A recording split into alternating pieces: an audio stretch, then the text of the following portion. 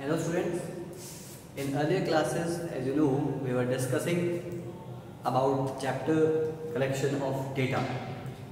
In the earlier classes, we have already discussed about primary data, secondary data and some methods of collection of data of primary uh, of primary data, some methods of collection of primary data.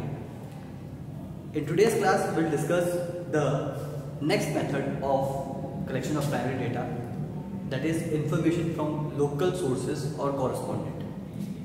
Under this method, information from local sources or correspondent method, some local sources or correspondents are appointed and information is collected through them. These local sources or correspondent collect information and they provide information to the investigator. कुछ local sources या कुछ local लोगों को appoint किया जाता है, ये information आपके लिए कलेक्ट करते हैं और ये लोग आपको इंफॉर्मेशन प्रोवाइड करते हैं आपके लिए। सर एग्ज़ाम्पल एग्ज़ाम्पल इसका सबसे अच्छा है आपके news channels it is not possible for a news channel to cover all the area by himself all the India by itself ठीक है? एक न्यूज़ एडिटर जो उसका ओनर है एडिटर है वो सब जगह जाके नहीं ये सारी इंफॉर्मेशन कलेक्ट कर सकता है या नहीं करता है। Because it is not possible for then क्या करते हैं? क्या करते हैं? वो अलग अलग सिटीज़ में अलग अलग लोगों को अपॉइंट करते हैं एज देयर जर्नलिस्ट वो उन्हें जर्नलिस्ट करते हैं कहते हैं, लेकिन होते वो local sources he. And what is their work their work is to collect data from their city continuously and provide that data continuously, regularly to the news channel and to the editor. So that कि सब पूरे India का data collect हो जाए और उससे information वो निकाल सकें और आगे पास ऑन कर सकें या हमें न्यूज़ दिखा सकें या न्यूज़ पब्लिश कर सकें कि देखिए भाई, दिल्ली में आज ये हुआ, बॉम्बे में आज ये हुआ, चेन्नई में आज ये हुआ, जयपुर में आज ये हुआ, ठीक है? तो वो ये सारी इंफॉर्मेशन वो किसके थ्रू कलेक्ट कर रहे हैं? थ्रू लोकल सोर्सेज और correspondent Now this method has some merits and demerits. What are the merits? First of all, this method is economical in terms of time, money and energy. But in comparison to direct personal investigation, अगर वो खुद ठीक है news editor खुद एक एक जगह जाएगा और इन्फॉर्मेशन कलेक्ट करके लाएगा तो सोचिए कितना टाइम कितने एफर्ट कितना मनी उसके अंदर इन्वेस्ट होगा लेकिन वो ये ना करके लोकल सोर्सेज से इंफॉर्मेशन कलेक्ट कर लेता है तो it saves their time money and energy तो first of all the method is economical it's it's merit is second merit is wide coverage obviously, we can cover a large area with the help of this method. As you can see, news channels are covering whole india.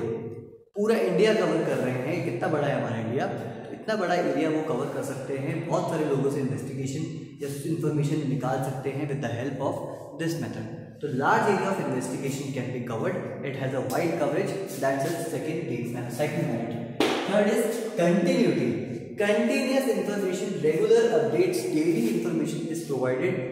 With the help of local sources वो रोज बताते रहते हैं कि आज ये हुआ, आज वो हुआ, ठीक है? तो ऐसे कभी कोई इवेंट अगर उनकी सिटी में हो जाएगा तो हमें कंटिन्यूस इंफॉर्मेशन मिलती रहेगी, ठीक है? नेक्स्ट है special purpose if we want to appoint something someone for some special purpose we can also do that in this method for example when news channel appoint some person for the updates of weather वो किसी एक इंसान को बोलते हैं कि भैया आपका काम है सिर्फ़ वेदर की अपडेट देना। है ठीक है? आप क्राइम सीन मत बताइए, आप स्पोर्ट्स मत बताइए, आप बिज़नेस एक्टिविटी मत बताइए, आप सिर्फ़ ऐसा कीजिए कि आपकी सिटी का वेदर बताइए। कितनी गर्मी थी, कितनी बारिश हुई, कितनी सर्दी पड़ी, रोज़ का टेम्परेचर क्या था एटसेट्रा एटसेट्रा तो ये सारी इन्फॉर्मेशन वो कलेक्ट करते हैं, ठीक है उनसे। तो ऐसा कोई स्पेशल पर्पस अगर उनके दिमाग में है तो वो भी पॉसिबल है with the help of local sources ठीक है? फॉर एग्जांपल कुछ पेपर्स मैगजीन्स बॉम्बे के अंदर आपने देखा होगा, ठीक है? कुछ फोटोग्राफर्स डेली फ़ोटो क्लिक करते हैं सेलिब्रिटीज़ की और कुछ मैगजीन्स को न्यूज़ चैनल्स को पेपर्स को प्रोवाइड करते हैं वो। तो उन्होंने स्पेशल पर्पज़ के लिए उस इंसान को रखा हुआ है कि आपका काम है सेलिब्रिटीज़ की इन्फॉर्मेशन हमें देना। एग्ज़ाम्पल है किसका चलिए मेरिट डीमेरिट सॉरी मेरिट तो हमने कर ली डीमेरिट देखते हैं। लैक ऑफ़ ओरिजिनलिटी पहला डीमेरिट है इसका।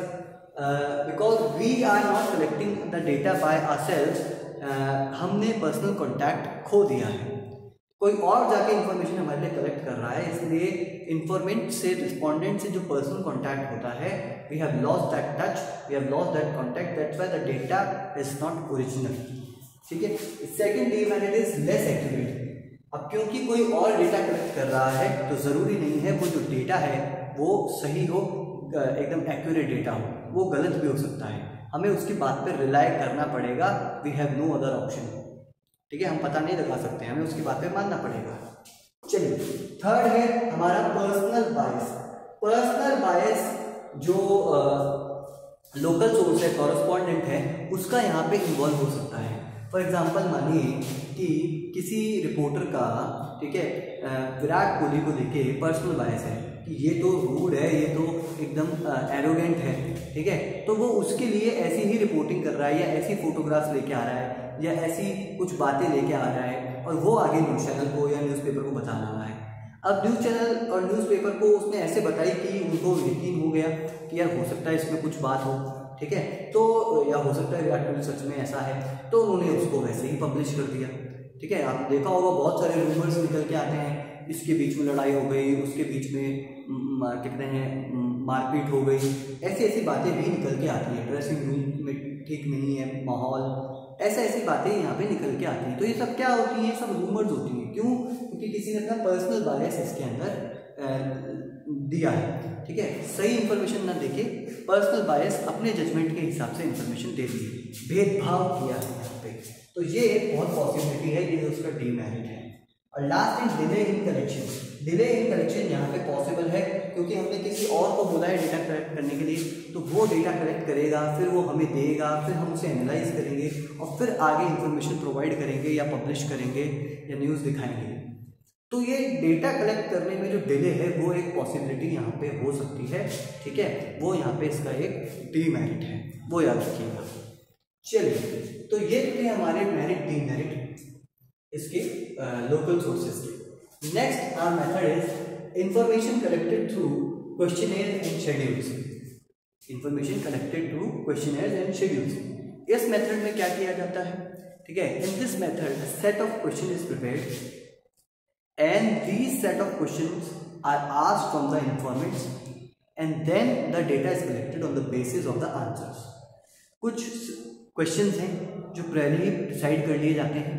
फिर इन्फॉर्मेंट से वो क्वेश्चन पूछे जाते हैं। फिर इन्फॉर्मेंट ने उसके जो आंसर्स दिए हैं, उसके बेसिस पे हम हमारा डेटा सेलेक्ट करते हैं, या वो आंसर्स ही हमारा डेटा होते हैं। तो ये जो तरीका है दिस इज़ क्वेश्चन मेथड और schedule method question and schedule वही सेट ऑफ़ क्वेश्चन ही है, ठीक है? ये आपने कहाँ देखा होगा? कभी आपने फ़ूड डिलीवरी ऐप से अगर खाना मंगाया है, ठीक है? कभी कैब बुक की है तो वहाँ पे आपसे कुछ क्वेश्चंस पूछे जाते हैं अबाउट दिस सर्विस अमेजोन से कभी आपने फ्लिपकार्ट से कभी आपने ऑनलाइन डिलीवरी कुछ अगर मंगाई है तो वहाँ पे भी ऐसा ही किया जाता है. Because they can not make a personal contact they can not do a oral investigation ठीक है? They can not appoint a local source वो लोकल सोर्स पे यकीन नहीं कर सकते. जो डिलीवरी देने वाला आपके पास आया है ठीक है? उसकी बात पे मान लेंगे तो वो ये थोड़ी बताएगा कि हाँ मैंने गलत सर्विस प्रोवाइड की, मैं देर हो गया खाना देने में, ठीक है? या मैं ढंग से पहुँचा नहीं, या खाना धुल गया था मेरी मेरी वजह से, ठीक है? ऐसी बातें वो थोड़ी बताएगा। वो कौन बताएगा? वो कस्टमर बताएगा। तो उनसे इन्फॉर्मेशन कलेक्ट कैसे की जा सकती है? पर्सनल कॉन्टैक्ट तो हो नहीं सकता है। एक एक को फ़ोन लगाए हर कस्टमर को। थाउजेंड्स ऑफ़ कस्टमर्स होते हैं डेली के। तो हर डिलीवरी के बाद में आपको कुछ सेट ऑफ़ क्वेश्चन दे दिए जाते हैं। वॉज़ द फ़ूड गुड और बैड ठीक है? डिलीवरी ठीक थी कि नहीं थी टाइम से नहीं थी तो आप उनको आंसर्स करते हैं रेट करते हैं, ठीक है? उसके हिसाब से पूछते हैं। अच्छा रेट करते हैं तो आप पूछते हैं, क्या अच्छा लगा? फिर से सेट ऑफ़ क्वेश्चन निकल आते हैं। बुरा रेट करते हैं तो वो फिर से आपको पूछते हैं कि क्या बुरा था। तो ऐसे ये क्वेश्चंस पूछ के वो आपसे डेटा कलेक्ट कर लेते हैं इन्फॉर्मेशन ले लेते हैं कि हमारे जो सर्विस प्रोवाइडर है, वो ठीक सर्विस प्रोवाइड कर रहा है या नहीं कर रहा है। ठीक है? तो ये जो मेथड है this is information through question and schedule method दो तरीके से किया जा सकता है। पहला इज़ मेलिंग मेथड जहाँ पे क्वेश्चन आपको मेल कर दिए जाए। हो सकता है ईमेल पे भेज दिए जाए या पोस्ट कर दिए जाए। फिर आप उनका, और उसके साथ में एक लेटर अटैच है। वो लेटर बताता है कि इसमें हम ये इंक्वायरी क्यों कर रहे हैं, ये क्वेश्चन आपसे क्यों पूछ रहे हैं? वो पढ़ के आप अपने सवालों के जवाब लिख के भेज सकते हैं। मेल वापस भेज दीजिए रिप्लाई कर दीजिए या पोस्ट वापस कर दीजिए, आपकी इच्छा second is enumerators method enumerators method में कोई एक्सपर्ट होता है। वो एक्सपर्ट आपसे सवाल पूछता है, ठीक है? और खुद उन सवालों के जवाब को नोट करता है कि आपने क्या जवाब दिया। ठीक है? You are not suppose to fill those answers you are just suppose to give the feedback और द आंसर्स इन्यूमरेटर खुद अपने हिसाब से उनको नोट डाउन करता है। तो थोड़ा सा डिफरेंस है मेरिंग मेथड और इन्यूमरेटर मेथड डिटेल में इसे हम करेंगे, इसके मेरिट्स डीमेरिट सूटेबिलिटी भी करेंगे। आज सिर्फ़ आपको इनको मतलब बताया है, ठीक है? That's all for today we will continue in next class thank you